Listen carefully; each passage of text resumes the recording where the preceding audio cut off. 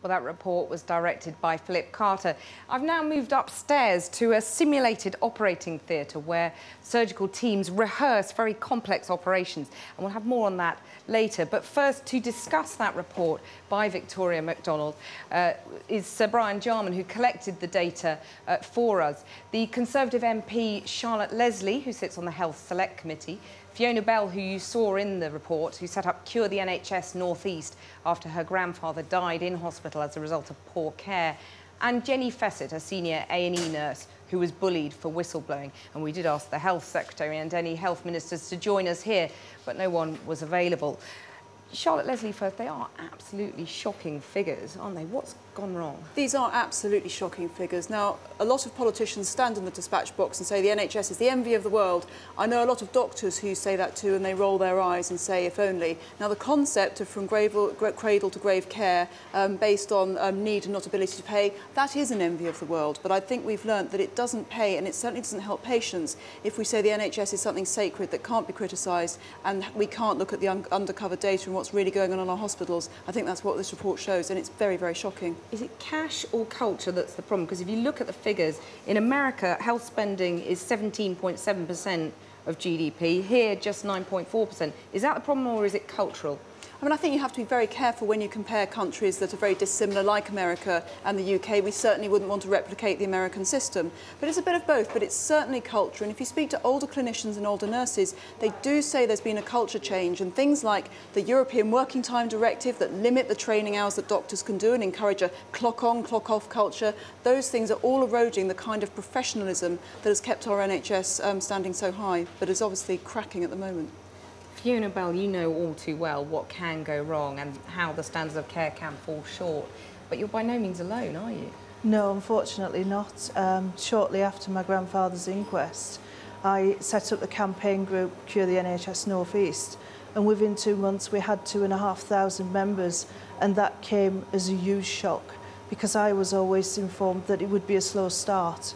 So to suddenly find myself it, with this influx of people wanting help, uh, it, it came as a massive shock.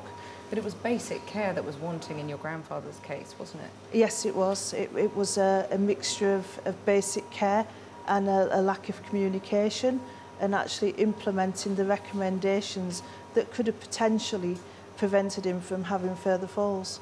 Jenny Fecitt, is this a cultural problem in that, you know, you as a whistleblower know how hard it is to blow the whistle compared to somewhere in America? Is that the case? Um, unfortunately, it is. Certainly in my experience and in, the and, and in my role as lead nurse for Patients First, nurses are still coming to us um, who have blown the whistle, who are receiving appalling treatment by, by their employers within the NHS. Complaints, I mean, if you look at the figures that we just saw in that report, one in 375 complaints are formally investigated. Uh, people who complain just aren't taken seriously, is that? the case? That's something that needs to be addressed and highlighted. Um, the patient's voice must be heard uh, within the NHS. Uh, the best part of learning is learning through the patient experience and through the relatives uh, that see their patients suffer um, uh, through, poor, poor standards of care.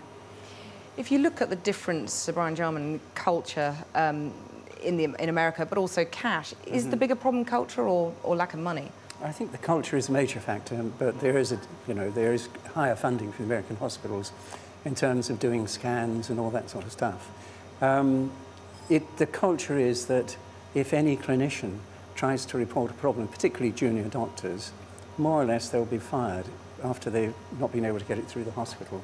Um, patients, as you said, as Charlotte Leslie said, their, their complaints are more or less ignored. And the head of the NHS said that uh, he would have a Stalinist con control from the centre of the NHS. Now that is utterly unacceptable. And I think we need to get patients, uh, clinicians involved in managing effectively the NHS, involvement in boards. So I think it is the culture, and changing the culture is virtually no cost at all. Fiona Bell, what would you like to see change that would help or might have helped in your case? I would like to see accountability from the top, from um, the CEOs at board level. There is absolutely no accountability at all. Um, you have families that have been campaigning for years for justice Um, you have CEOs that, that will engage in the complaints process, but when it comes to actually helping you, they don't implement what the recommendations are in, in the report, which then leads to failure.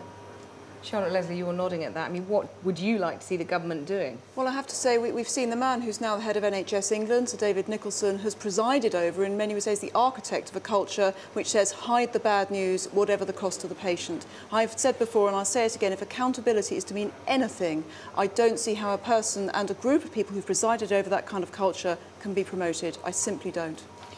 So, Brian, you compiled these figures over a period of years. What made you sit on them for so long?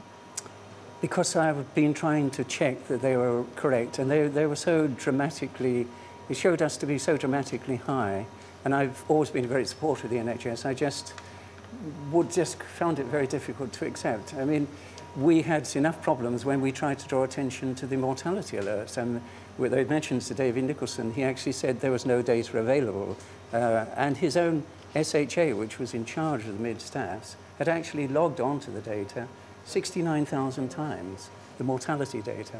And how can the head of the NHS say that there's no data available? He eventually had to uh, apologise to that for the Health Select Committee. So all of those factors, I think, are important. So Brian Jarman, Charlotte Leslie, Fiona Bell, Jenny Fecitt, thank you very much for joining me. And you can read more from Victoria McDonald on our website, which is channel4.com slash news.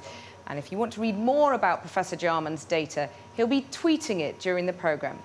We'll be back later when we'll be looking in more detail on what goes on in this theatre and at life in the Accident and Emergency Department. Over now to Matt in the studio for more of the day's news. Thanks, Cathy.